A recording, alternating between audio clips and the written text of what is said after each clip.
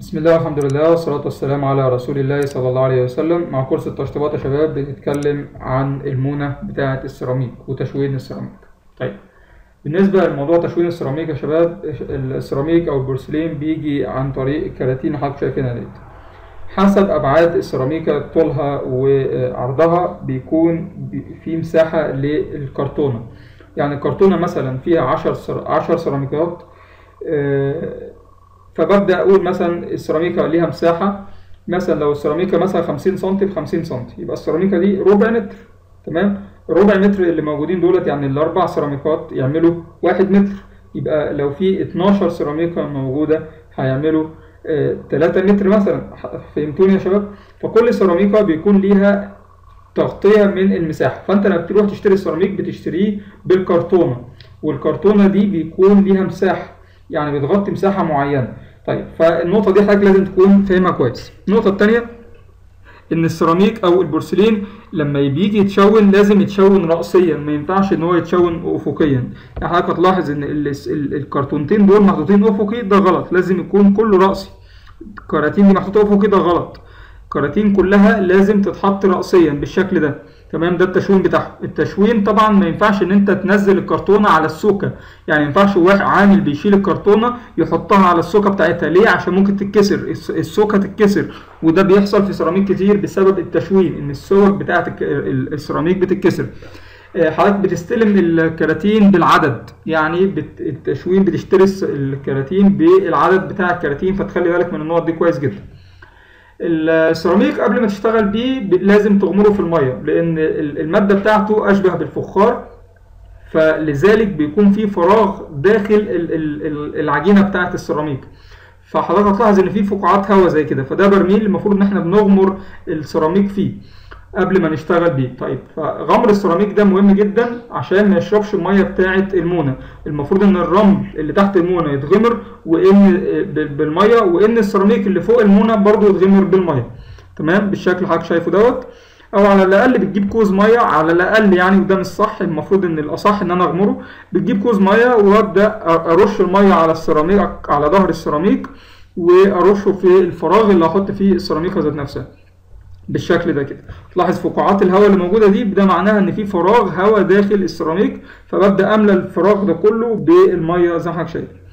السيراميك ذات نفسه أو البورسلين لازم تستلم أبعاده إن أبعاده تكون متطابقة إن السيراميك كله يكون متطابق يعني الطول تجيب سيراميكتين وتحطهم على بعض بحيث تجيب بلاطتين وتحطهم على بعض بحيث إن الاثنين يكونوا متطابقين في الطول متطابقين في الأبعاد. فالنقطة دي مهمة جدا يا شباب. يكون الاثنين مستويين. يعني يعني تلاحظ إن في استواء في السيراميك أو البورسلين بالشكل ده وتلاقي خط واحد. خط الإنتاج بتاع السيراميك أو البورسلين بيدخل مثلا يقول لك أنا هنعمل مثلا 2000 2000 بلاطة 10000 بلاطة 7000 بلاطة ايا كان الرقم. فكل السيراميك بيدخل فرن واحد. لكن الفكرة فين الفكرة إن في الفرن بيكون في بعض السيراميك قريب من النار واحد تاني بعيد عن النار واحد تاني يتحط في النار فترة أطول من التاني. فالفكرة إن النار لما تتعرض في الفرن بتاع السيراميك أو البورسلين ما بتتعرضش ليهم. كلهم قد بعضهم. لذلك بيحصل تفاوت في الألوان وأنت شغال. فبيحصل في حاجة اسمها فرز السيراميك. بيحصل فرز أول فرز تاني فرز تالت. فالناس اللي بتقعد علشان تفرز السيراميك بتجيب قلم وتعلم عليه. السيراميك بتعلم على ده خط ده خطين ده ثلاث خطوط. معنى كده إن فرز أول فرز تاني فرز تالت علشان تقدر تفرق ما بين السيراميك وبين بعضه. فالفرق المفروض ما يكونش في الأبعاد والكلام ده. الفرق بيكون المفروض في اللون يعني. تمام؟ طيب. القطعيات بتاعة البورسلين المفروض إنها بتكون قطعية sharp يعني قطعية حادة عشان كده بيتسمى قطع ليزر. لكن السيراميك القطعية بتاعته ما بتكونش حادة. بستلم السيراميك إن أنا بطبقه على بعضه بالشكل ده أو إن أنا بجيب دراع ألمونيا زي ده كده وببدأ أطابق السيراميك عليه بحيث إن هو يكون مية واحدة أبدأ أشتغل بيها عشان ما أظلمش برده العامل اللي بيشتغل تحت إيدي. فأكون عارف إن هو يعني هيقدر يطلع كفاءة الشغل ده قد إيه. فدي نقطة مهمة جدا. حضرتك لما تيجي عند التقاء الأربع بلاطات مع بعض بيحصل صليبة شكل علامة الكروس أو الزائد لازم الأربع بلاطات يكونوا في مستوى واحد. فلازم يكون المصنع جايب البلاط كله مستوى واحد كله في نفس الاستواء عشان أقدر أستلم السيراميك من الراجل اللي أنا هشتغل معاه. أه ببدأ أخمر المونة فكل دي التجهيزات قبل ما أبدأ أشتغل إن أنا أستلم السيراميك إن أنا أستلم التشوينات إن أنا أشون صح كل ده المفروض أبدأ أشتغل بيه. ال- التخمير بتاع المونة بخمر في المونة في تكنة اخمره في جرادل اخمره بقى على زي ما يتخمر أنا اتكلمت الكلام ده اتكلمت فيه كتير. في موضوع بياض المحارة وموضوع المباني في موضوع التخمير. فببدأ يخمر بالشكل ده قلت إن المفروض إن الست شكاير أسمنت بيتحطوا على واحد متر مكعب رمل.